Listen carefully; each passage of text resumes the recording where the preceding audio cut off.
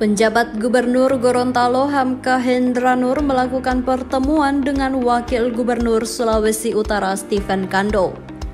Pertemuan yang berlangsung sederhana namun cukup serius ini berlangsung di ruang kerja Wagub di kantor Gubernuran Sulawesi Utara pada Jumat 22 Juli 2022.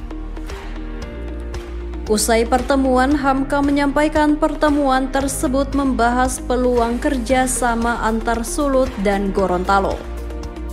Dua daerah ini dikenal punya sejarah yang sama karena pernah tergabung dalam satu provinsi kemudian Gorontalo dimekarkan menjadi provinsi sendiri.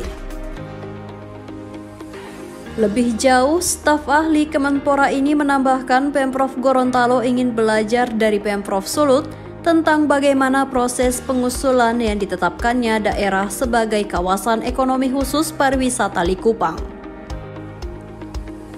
Mengingat Gorontalo juga berencana akan mengusulkan Gorontalo Utara, Paguyaman, Kuandang yang diusulkan menjadi kawasan ekonomi khusus.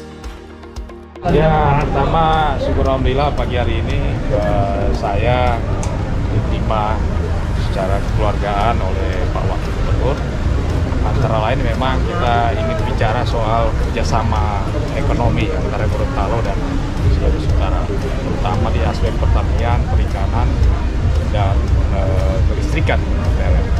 Karena dua, dua, dua daerah ini kan sebenarnya secara kultur dan secara topografi memang sangat signifikan untuk kita bisa bicara ke depan. Nah, ini setelah ini kita mau ke Bitung. E, Gorontalo ingin membangun terminal di Limboto. Nah, benchmarknya itu ada di Tangkoko.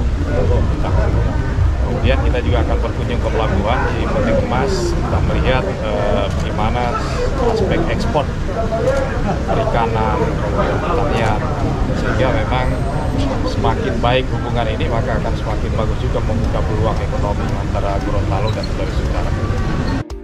Hal yang sama dikatakan Wagub Sulut Stephen Kando. Atas nama Gubernur Oli Dondo Kambe, ia mendukung penuh rencana kerja sama ini.